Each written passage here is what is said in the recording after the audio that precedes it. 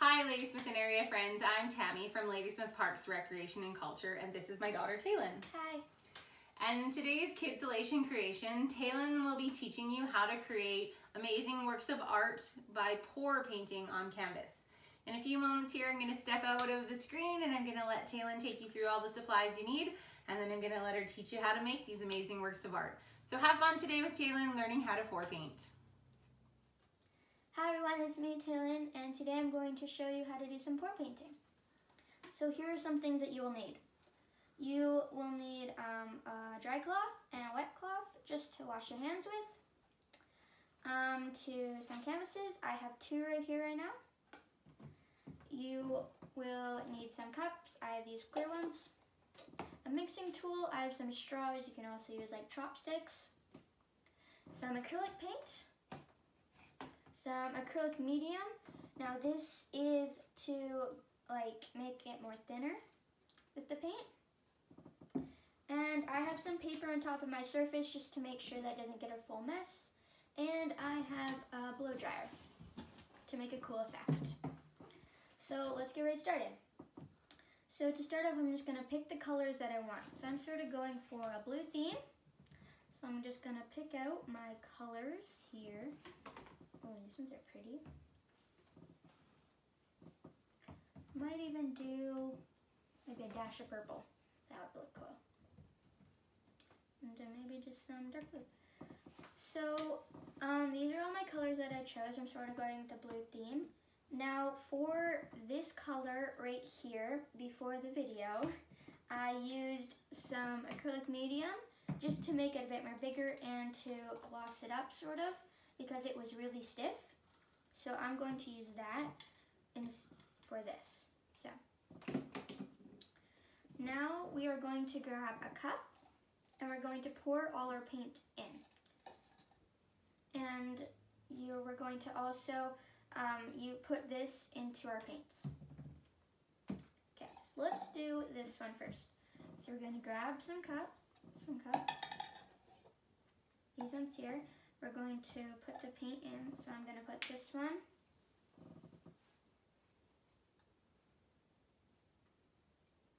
Just pouring it in. Oh, see? It's thick. Eh. Okay. Now we're going to grab some of this. And we're just going to pour it in there.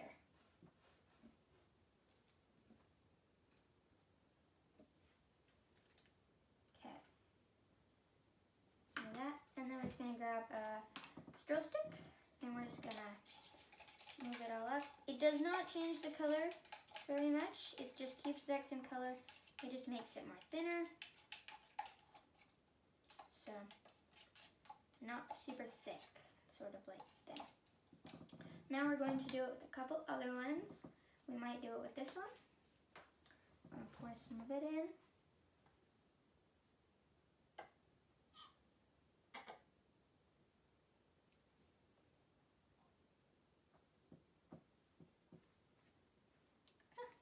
Definitely thick. Okay. Now we are going to put some of this again in it.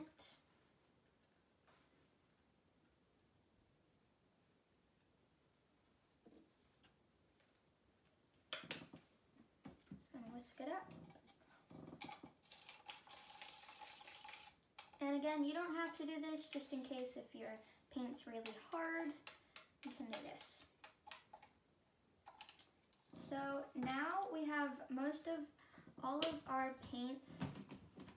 They're all like sort of liquidy, I'll say. And these ones I should do too.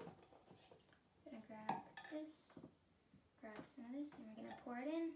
We're just doing this to make sure that they're not thick and we can get our whole canvas, whole surface of it pour this in again. And if you don't have this, it's totally okay.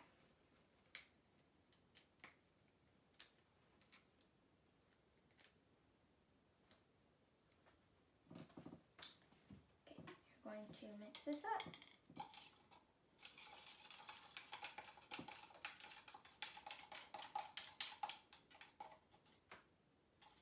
Okay, now that most of all of our colors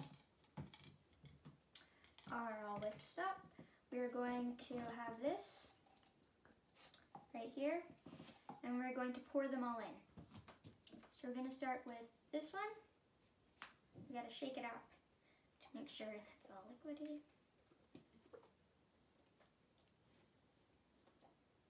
Just going to pour a bit of it in.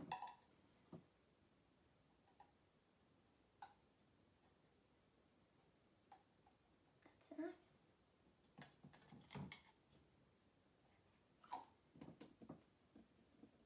Put that over there. To pour some of these into here.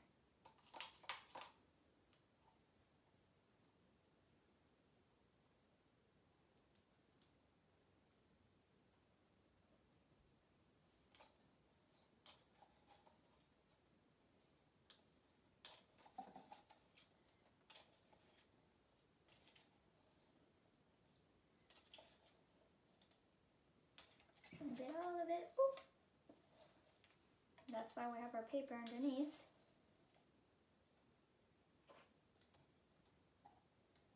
Okay.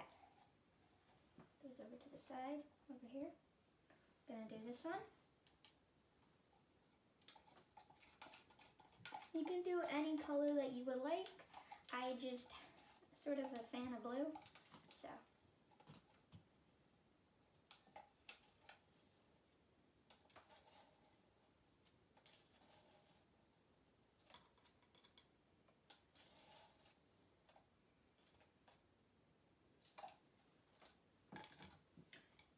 Of this one. This one's not quite mixed up, so I'm gonna mix it up a bit more.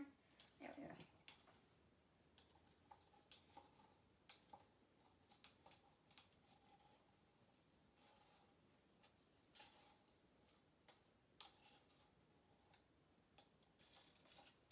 Okay, now we're going to do the purple.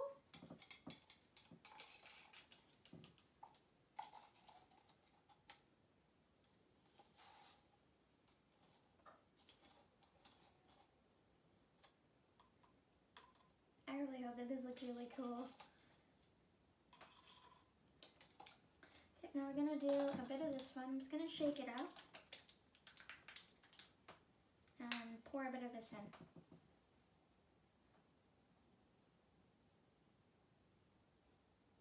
Okay, now for the way that we are going to do this one, we are going to put this and we're gonna put the canvas on top of it. And then we're just gonna flip it over like this. And all of it should sort of like start to come up. That's how you know it's good. And you can tap it down to make sure all of it gets down. You're just gonna release.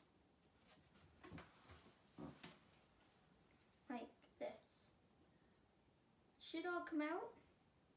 Just gonna shake all the rest out and I'll get all the rest out after if I need any more.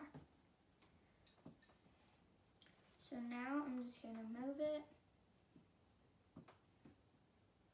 how I like it.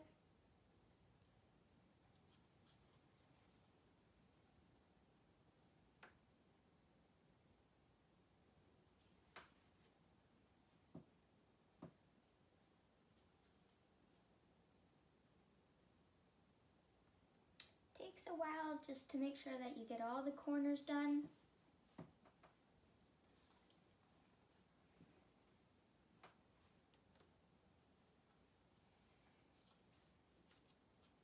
But it should look really cool when you're done. Just getting it all to go back down.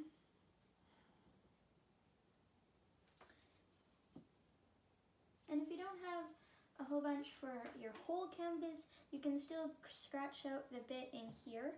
That looks like what I would probably do. But it is slowly still coming down, so.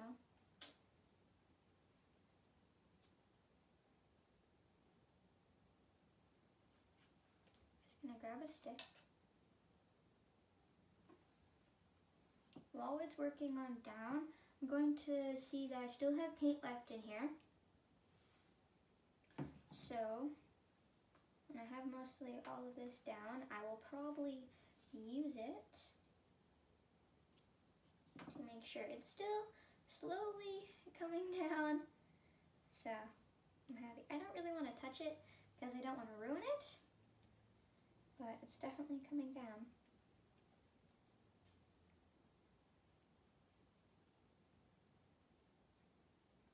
I might grab some of this paint on here and just stick it on.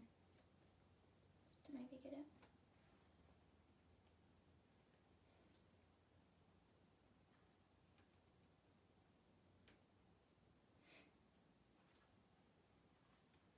This is not a short process, so it will take a while to get it all down.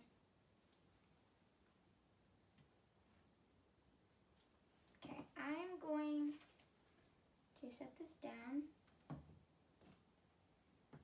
I'm going to grab a bit of paint from the bottle and we're going to just pour it on just to get this corner all done. That should be enough. I'm just gonna lift it up again. I'm just gonna pour it everywhere.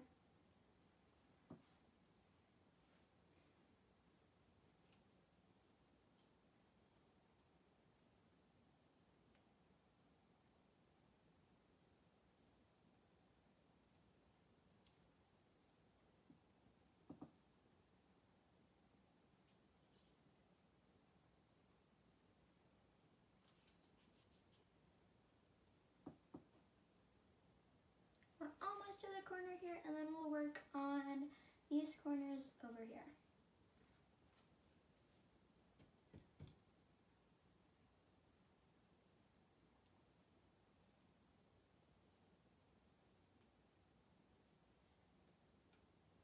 Okay, so now that we have these, that sort of side, we're sort of going to work on this side.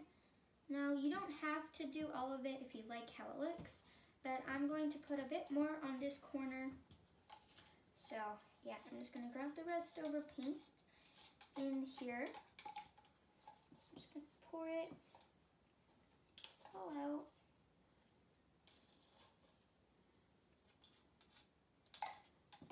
And then we're just gonna do the exact same thing and we're just gonna rotate it around just to get it all over everywhere.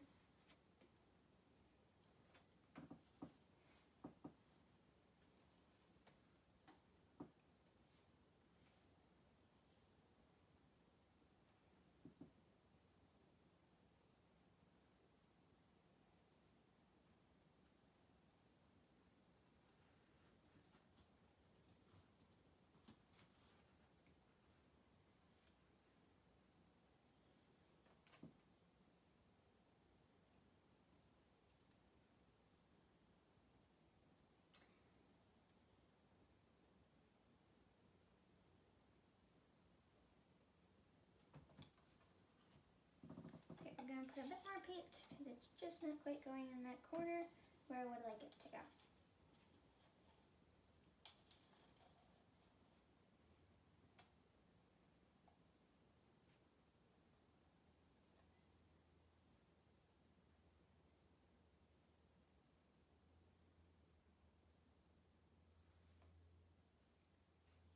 Now I'm just dabbing it down to just get in the corner, not really messing it up, but just sort of getting it into that corner. And now I'm gonna work on this back. So I'll catch you guys back when I'm done this whole canvas. So we're back and I finished the first one. It looks like this. It's really cool and I like it because there's sort of like drips coming down. So now we're going to go for the second one. And for the second canvas, I already made the um, paints. And for this one, we're going to use the blow dryer with, and it will make a really cool effect. So let's dive right in. So for this one, we're doing a bit of a different um, pour. We're just gonna pour the separate colors, and then we're going to blow dry them. We're not gonna put them all in one. So we're gonna start with the purple. I'm sort of going for like the darkest at the front because I sort of want the pink to really show. So I'm gonna pour the purple all down. Right here, just gonna get it all down.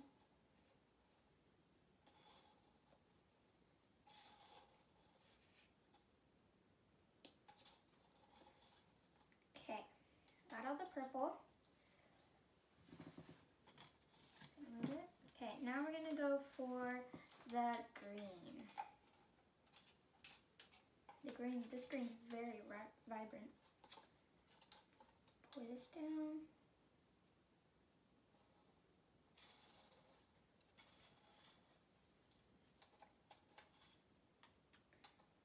Just like that.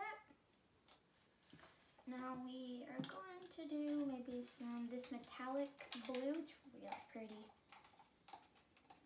Sort of look like mermaid scales.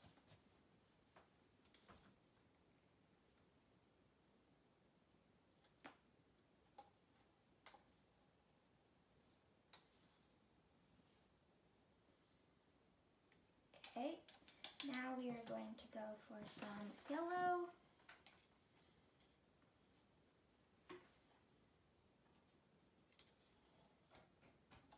Not yellow. Okay, now we are going to do some white. This is a metallic white.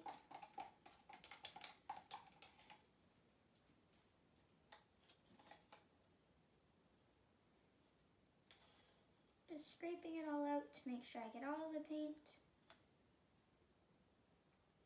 Okay. Now we're going to go for the pink. I think I'm going to get pink maybe over here.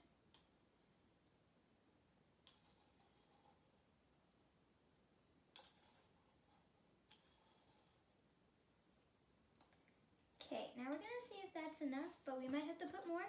But now we're going to do the blow dryer. So for this blow dryer, we're going to use this. If you don't have that, that is okay. And we're just gonna go like this, and we're just gonna put it out. So let's go. We're gonna put it on low. So we're just gonna blow it everywhere.